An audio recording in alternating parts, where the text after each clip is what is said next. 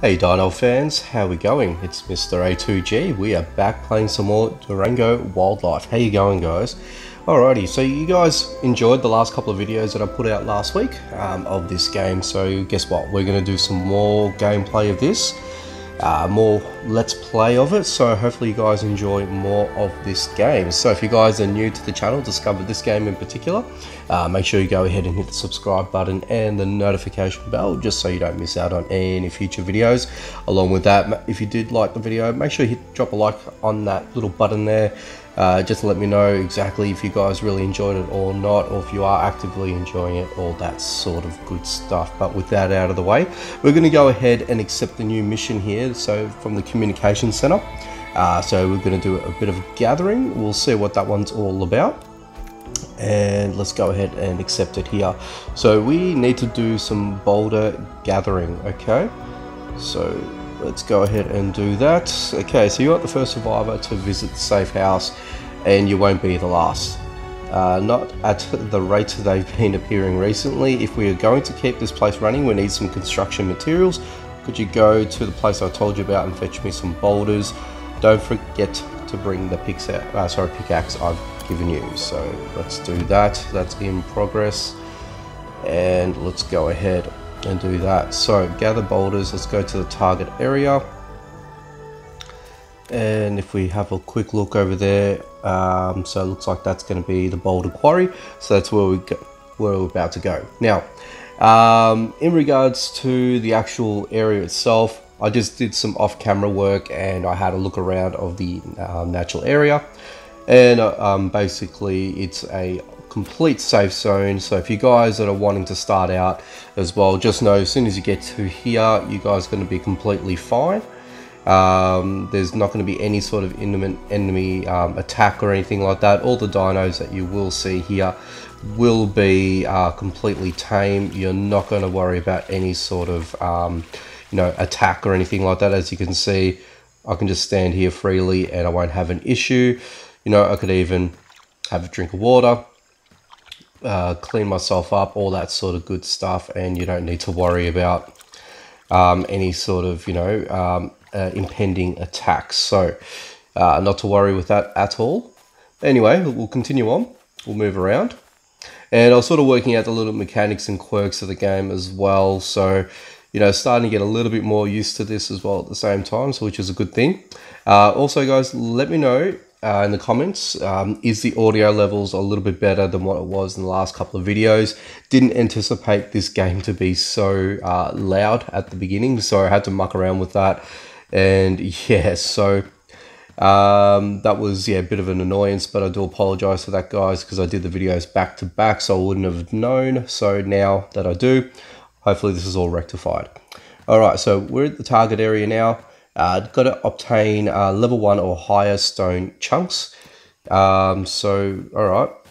And I'm guessing they're probably the boulders I need to look at. Okay.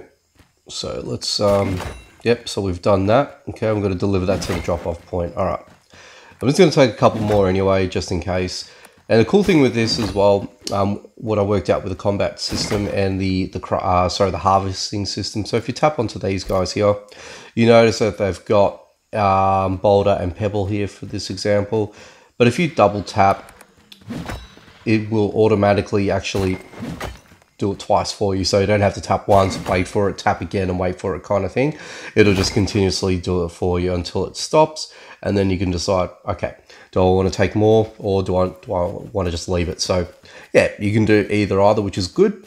Um, I just thought I'd just bring that up, especially if you guys are following my series in particular and you want to know a little bit more about the game. I am learning this actively as well at the same time, so um, I may not know um, things that you guys might know, or if you guys have already gone ahead of me, um, you know, let me know of your experiences there. Uh, don't obviously leave too much um, in, in, the ways of spoilers or anything like that. So, um, any little bit of information that might be helpful, though, yeah, let me know in the comment section down below. I know you guys are pretty active with this game, so that's why we're doing a little bit more with it. So, yeah.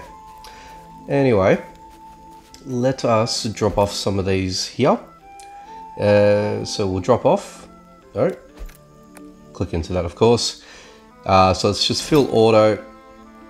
So we're just going to insert and mission complete. Very good. And we've got a few little other bits and pieces for our troubles. Our interactions may be limited by this radio, but I know you're a disciplined worker. We hmm, could Thanks very much. that in this world. Much more. Well, thanks, buddy. Hey, I've been developing a special curriculum at Radio University. All it lacks is a pupil to test it. What do you say? Are you up to the task? Well, of course we are. Sorry, Lamar, but could you please save your sales pitch until after we leave the safe house? Fair enough. I mustn't rush you. Everything in its own time, after all. We'll be able to talk at our leisure once you reach a tamed island.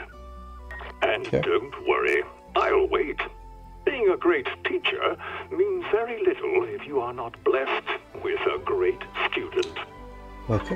Boy, he sure loves to Excuse me, guys. Sorry. Let's wrap this up before he starts quoting Shakespeare at us. If you want to be a real pioneer, you gotta dress the part. Time to play tailor.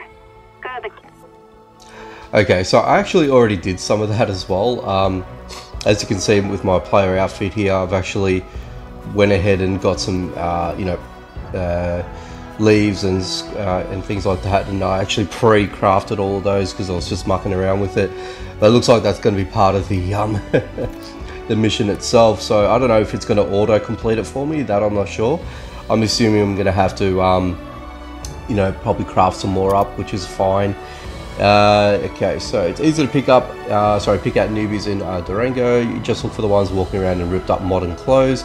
If you want to show the world how far you've come, make the leaf outfit for yourself. Don't throw away your old clothes, though they are good material for other crafting since you should have uh, a leaf or two left over for material. Bring one outfit to the drop off point. Okay, so that's in progress.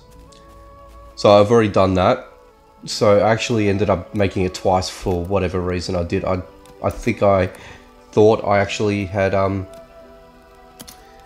uh, crafted uh, one side of the outfit. Try it on. See how it fits. Yeah, so I thought I um, I thought I was doing the foot wraps, and then I ended up making um, the the actual You've come a long bottom way. part more. So anyway, In fact, I think you're ready to head out on your own. okay, here we go. Now, I can't have you claiming land on company property, but you can put down roots with a domain on a tamed island. Okay, so we're gonna go to Tame Good Island. thing they're just a raft right away. Or an amazing hot air balloon right away. Okay, I'd be happy to help you out, but I don't have any fuel. Let's remedy that. We have to make sure it burns nice and hot, so tell me, what kind of fuel are you gonna get? okay. Um, I don't know. Well, it's probably going to be either a leaf or a branch. I'm just going to say leaf. Branches, leaves, stalks, logs? Yep, that'll do the trick. Cool. Okay. So let's go over to our communication center here. Accept the mission. Okay, the hot air balloon makes uh, getting to a tamed island uh, a cinch. One problem though, their construction is a bit more on the expensive side. We need, or sorry, we're prepared to front the cost, but why not pay for it uh, to forward the pioneers who come with you? Just donate some firewood. That includes things like logs and branches, anything that'll burn really. Okay. So, uh, okay. I've, looks like I've already got the materials there, which is always a good thing. And all right, so let's just fill automatically, and we'll just insert those. I think that's actually. Hop into the hot air balloon and go find a tamed island to call your home. Lamar and I will be in touch. you know, I read a lot of books. I wish I had some kind of quote to send you off. How about explore, dream, discover? Anyways, the hot air balloon is waiting where we met before. And good luck. Okay, sorry. So what I was saying, um, yeah, basically from everything that I've done so far, just sort of uh, mucking around, just sort of getting a feel for the game. Kind of sort of already, you know, pre got a lot of the mat- uh, materials and items and things like that. So, um, yeah, so a lot of the um, little pre-missions or the tutorials and all that sort of stuff sort of blitzed it, I guess. Um, but otherwise, what we're going to be doing now is um, we are find, we're going to find the hot air balloon on the beach, which I believe it's over this way. Um, you know what always freaks me out when I see, because I think it's a dinosaur for some reason, the way that it appears on screen. But yeah, so it looks like we're going to find our own part of the island to, um, to call our own home. Uh, by the sounds of things, it is a tamed area, so hopefully we should be okay, but we'll, we'll see how we go. Ooh, did not discover this part of the um, map, which is fine. Okay, so it's on the beach, so if I follow the beach line, I'm pretty sure it's close around here, if I'm not mistaken. If not, I'm, it's got to be in the other direction, but um, I think we are in the right area. Now, a cool little thing as well is if you hit the, um, the exploration button there, um, the, the two um, little swords here, expands the screen out a little bit as well, so you can actually still run around as well, which is a cool thing, cool, neat little feature. And I am going in the wrong direction, which I've only just realized and noticed, so don't hate me for that, guys. Um, but it's a good point to sort of have a look anyway. Um, just sort of run around and especially if you're just sort of you know wanting to get a bit of an overview of the area itself um, this actually works quite well so yeah here we go and we are getting our way over here and okay so I got to accept the mission do I? I thought I did hang on hello accept the mission I thought I did I did okay Anyway. Okay, so hot air balloon, let's go. Let's see what is... Uh, oh, I've got to go around the other side, don't I?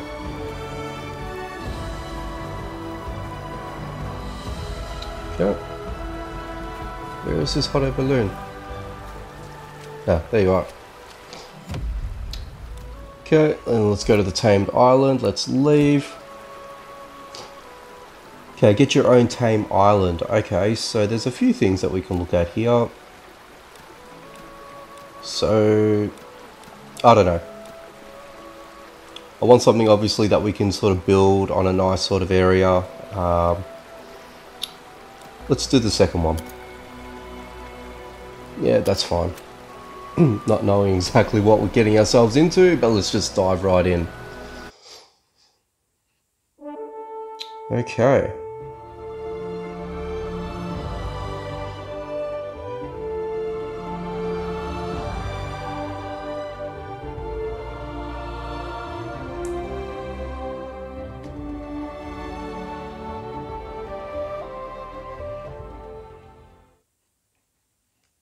Interesting.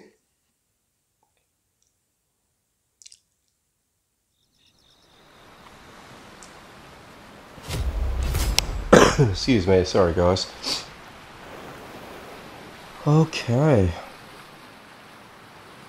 So that was basically, I reckon, the, the tutorial of the game.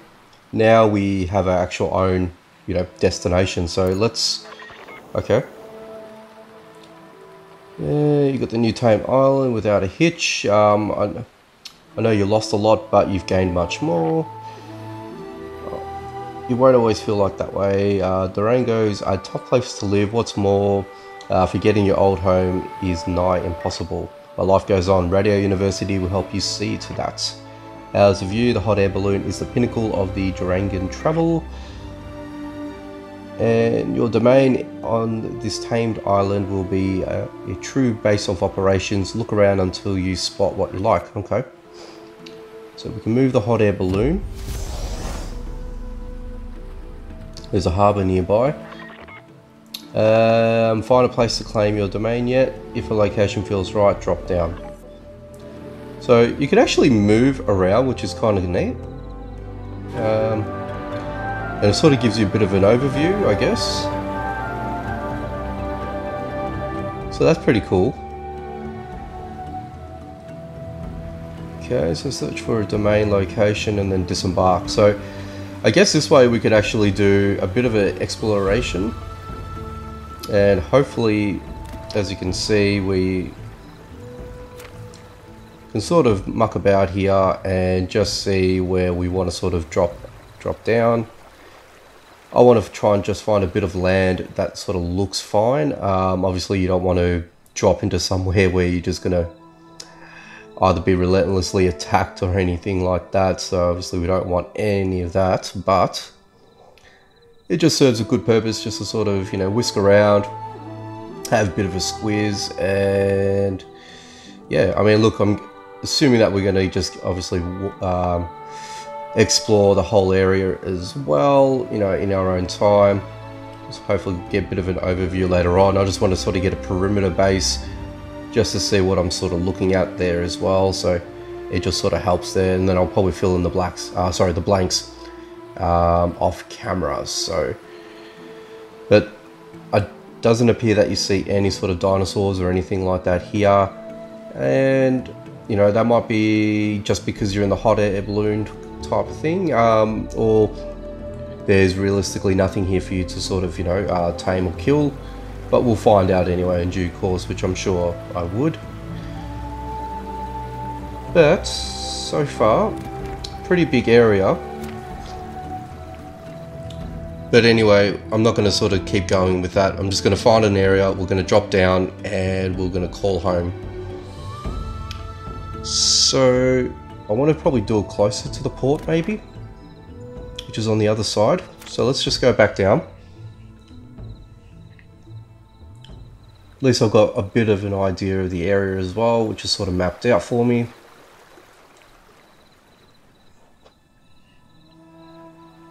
Okay, how far are we now? Okay, so we're not that far away now. Excuse me, guys. Ah, sorry, the cough just doesn't want to go away. Okay, so I'm probably going to drop down here. Once you disembark from the hot air balloon, you cannot board it again. Do you want to get off at this location? Sure. Let's just go ahead and do that. So at least you guys have got a bit of an idea what, what my um, tamed area is, which is awesome.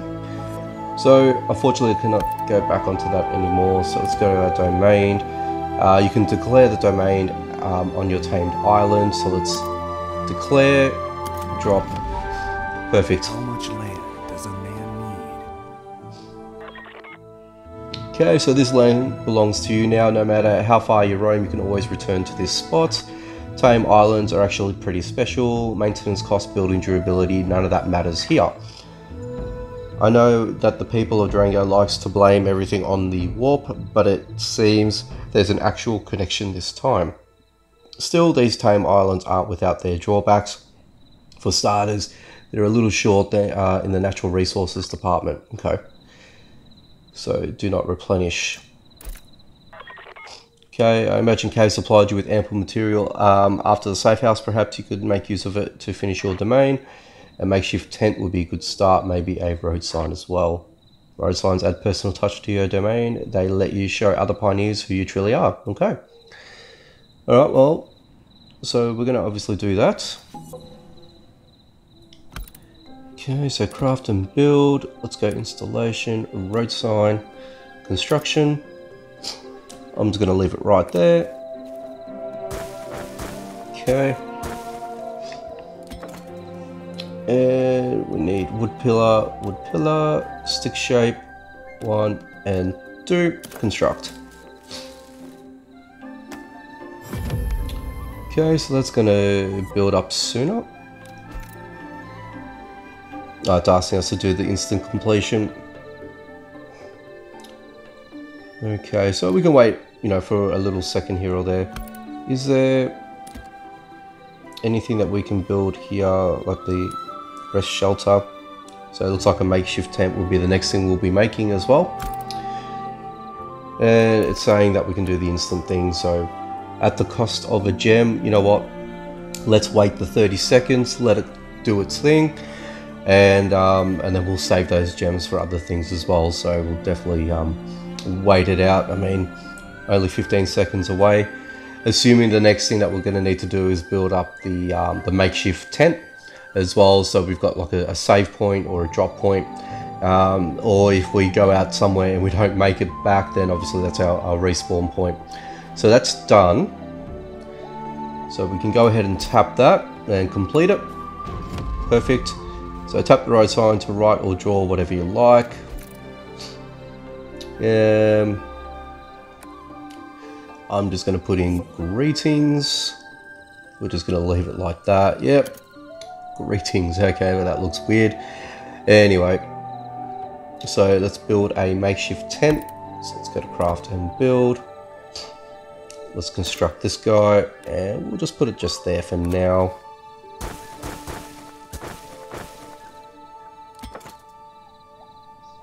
And let's just do the autofill. I re actually really like that feature. The autofill is awesome.